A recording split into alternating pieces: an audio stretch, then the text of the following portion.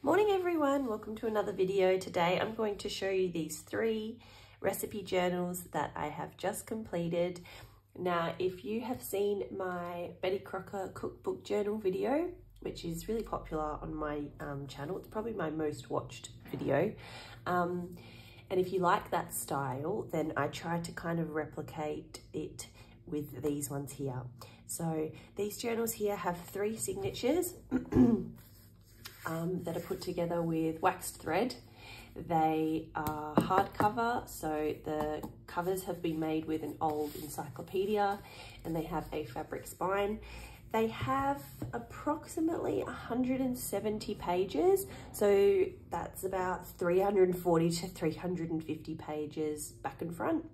Um, and it's approximate so you know there might be more or less in each one each one's um, got the same kind of items within them just in different orders and some of them have some different things in them as well um, but like my Betty Crocker cookbook journal and like all of my other journals everything in these um, journals is recycled and vintage and um, and original so there's no printables or um, uh, new items or purchased items. Everything is completely original. So you'll have to excuse me, I have a bit of a cough at the moment. um, and that's why I'm talking a little bit quiet, quieter. I'm going to show you the first one and do a bit of a, uh, like a bit of a talk through of it. Um, and then the other two, I'm going to put some music over and just do a flip through.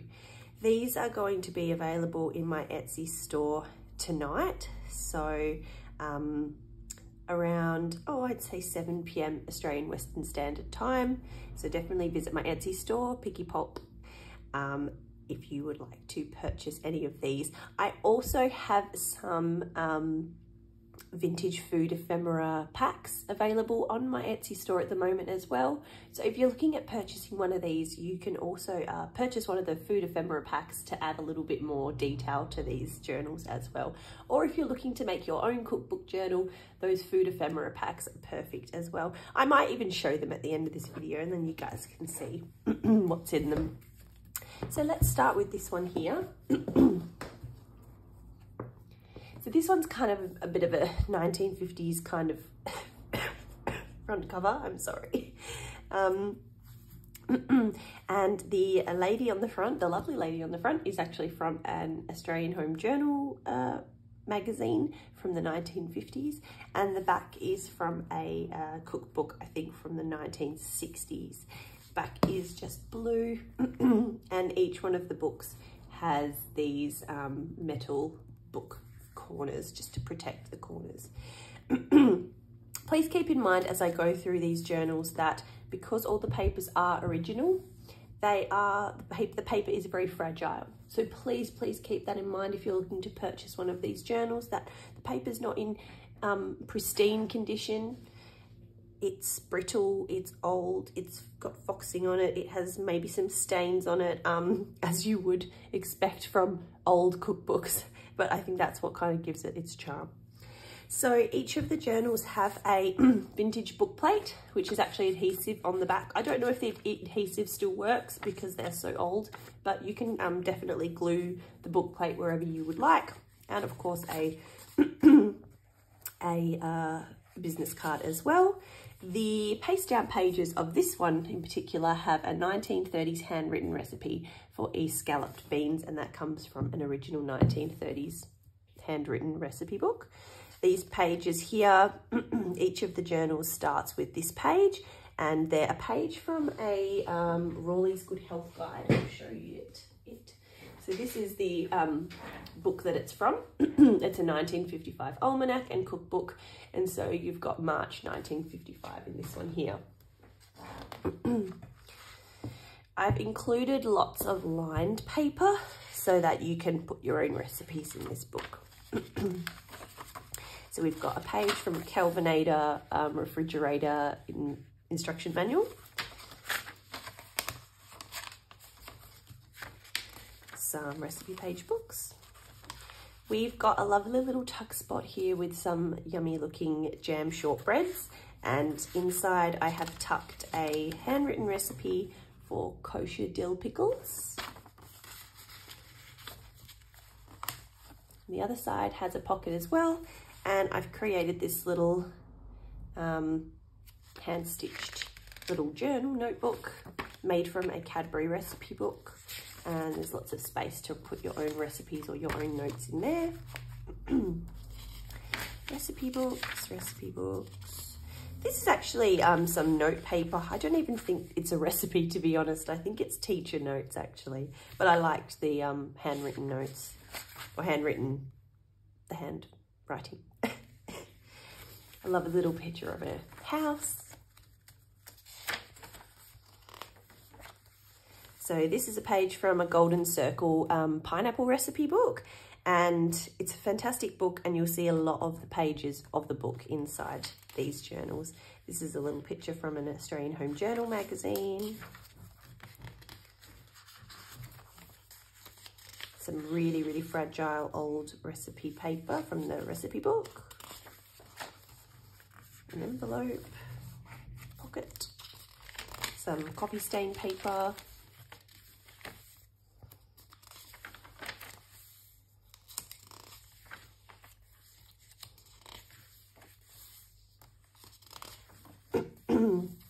I love this uh, die cut from a magazine for, for Rose's Lime Marmalade. It's very bright. And this is actually a picture that came from a photography magazine. If you've seen my latest video on the stack of photography magazines that I recently purchased, this was on the back of one of those magazines. It's an ad. It was an ad for Fujifilm um, camera film. Some more of those fantastic recipes. That looks like a a jello salad or something, jelly salad. An old refrigerator. You can see some of the yummy, look at the, some of the yummy things in there.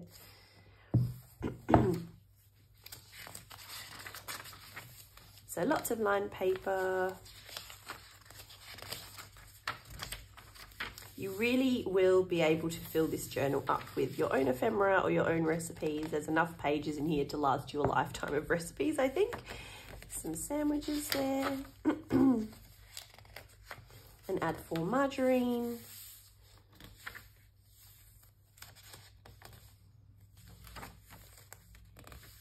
Fondue. What is a vintage recipe book without some fondue?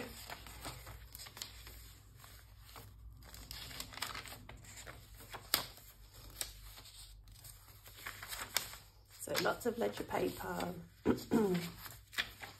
I love this page. It looks like, like some kind of pizza pie or something.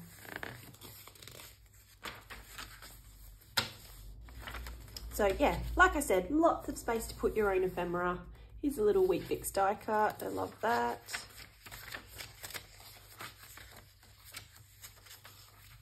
Uh, each one of the journals comes with one of these vintage strawberry playing cards.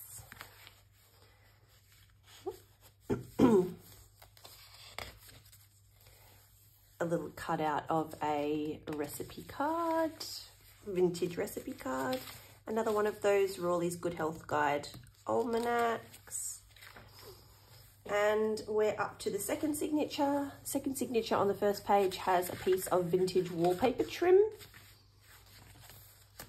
a visitor's book. This was an ad for Sunbeam Mixmaster, so there's a little bit of the ad here. I was really sad to give this piece up actually. I would have loved to put it in my own journal. A page from the Golden Circle recipe book. I love that colour. and this was part of the um, Mixmaster ad. So there's some of the ad here and then the rest of the ad I put here.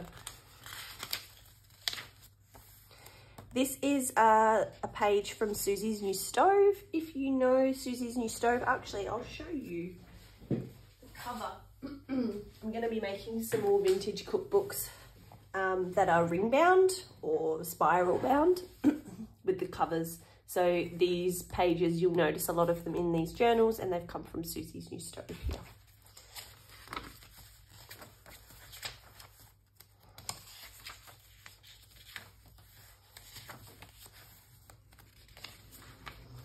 Page from an embroidery book. page from a Better Homes and Gardens recipe book. This is a page from a vintage children's colouring in book. This picture here you'll see on the other side when we get to the other side of it, but it's actually a girl having a picnic. She's eating a sandwich and on the other side is a cucumber um, colouring in, which I find really weird. Why would you put a cucumber to colour in for a kid? I don't think kids would be very excited about colouring in a cucumber. It's one colour. this is a page from a 1956 Women's Weekly magazine for homemade chutneys and pickles and you can see a lady there and it looks like she's doing some gardening in a little greenhouse or something. Um, and then I like this, which wife are you, which is really interesting. Do you pack a lunchbox? a page that shows some pork and lamb cuts and a bit of a timetable for roasting meat. Another lovely colourful page from a recipe book and this one is blank on the back so perfect for adding your own notes or your own ephemera. Another page from Susie's New Stove and this is a double page which is the binding page. the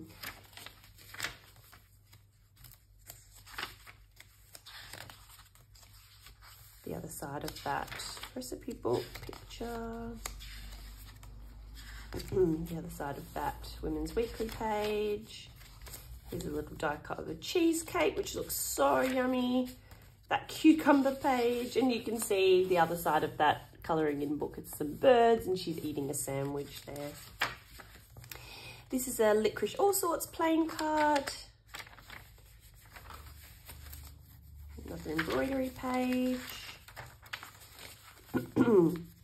this was a big ad for butter and so I cut it out and turned the uh, butter part of it into a little pocket and then inside, oh sorry, not a pocket, a little uh, tuck and inside there is an ad for Scotch whiskey. Little pages. This is a cutout from an Australian Home Journal magazine.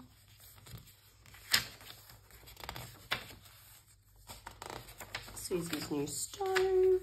This was the back page of a, I think it was like 101 leftover meals or something. Anyway, that was the back page of the book. and here's another one of those little notebooks I made from a Cadbury's uh, recipe book page. So you've got lots of lined paper to write your notes and your recipes in there. Tropical Magic in Cooking.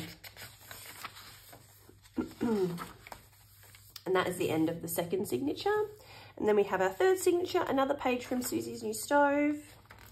A little coupon for any drum of Bird's custard powder, valid until June 1st, 1979. That's really cool.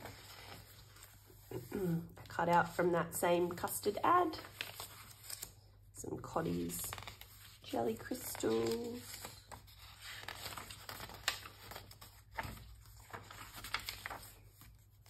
Do you know your pasta? Now I have um, paper clipped this in because it's very, very fragile. So it's a 1930s ad from a magazine for Parsons custard powder. You can see that it's very soft. It's in very uh, fragile condition. And on the back is an ad for Cadbury's Cocoa. So I've just tucked it in there. Make sure it's tight in there. Very good. Recipe for meatloaf. What is a cookbook without a recipe for meatloaf? Meatloaf is not my kind of food. Lovely fruit page. This is a wonderful full spread um, the middle of the signature and it is a plantation salad from that golden circle pineapple recipe book some more fantastic recipes from the pineapple book. So the whole recipe book is actually a, a whole, like every recipe includes pineapples, which is very, very 60s kind of recipe book. Liver pate, cheese dip, some golden circle cucumbers. This is a little cutout from a Sunbeam catalogue for a cooker and deep fryer, and you'll see some of these little cutouts in the other journals as well. some Kellogg's cornflakes, omelette recipe, mushroom flan, some more of those lovely handwritten pages, a little envelope to put your own ephemera in. And the last page is from Susie's new stove. And that brings us to the end. On the back paste down page is a recipe for waffles. And that is the first journal. So what I'm going to do is I'm going to show you the other two. I'm going to do very quick flip throughs of them. I won't be talking over them, but if I find something interesting, then I might, I might do.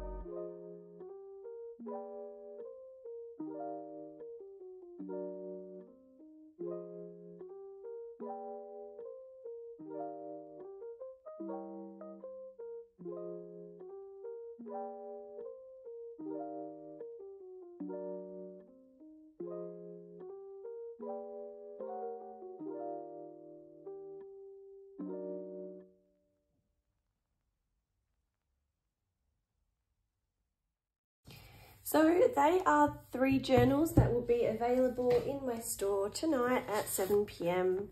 Australian Western Standard Time. So please do your own um, time zone converting. Um, but they will be on my Etsy store. And I did tell you that I would show you some of the food ephemera packs that I've got at the moment. So I'll show you those now. Um, just, yeah, just because. So this is one of the packs. You get a whole bunch of different uh, ephemera items from the 60s and 70s. I love the look of that cake there, Christmas cake. Um, so yeah, a whole bunch of things that you can create your own ephemera with, all original, cut from magazines and books, but mainly magazines. I got about a couple of years ago I was very lucky to get a huge collection of 60s and 70s women's magazines and from there it's taken me two years but I have managed to cut out them all and provide you with all of this ephemera. So definitely a good opportunity this a good opportunity to snap up some original vintage ephemera to add to your own cookbook journals or if you want to add them as an add-on to one of my journals, you are more than welcome to. I love the colours, especially in the 70s. Um, in the 70s pages, the colours of the dishes are just amazing. Look at that. Pineapple upside down cake, I think. Trifle. Australians will recognise all of these cheeses. Oh, I love this one. It's a little 60s lady from the 60s in front of her stove. Some food die cut. An ad for a cookbook. This kind of gridwork cake and a punch. I'll show you the other two packs. There are, I think, hmm, don't quote me on this, four or five packs on my Etsy store. Some of them might have been sold already. Um, but I generally try to always have food packs available, although like I said, I've just finished cutting up these magazines, so for a while there probably won't be any. Um, so definitely snap them up if you are interested. Um, otherwise, yeah, let me know what you thought of my cookbook journals. Um, let me know which one is your favorite and maybe what theme journals you'd like to see me make next time. All right, have a fantastic day. Bye.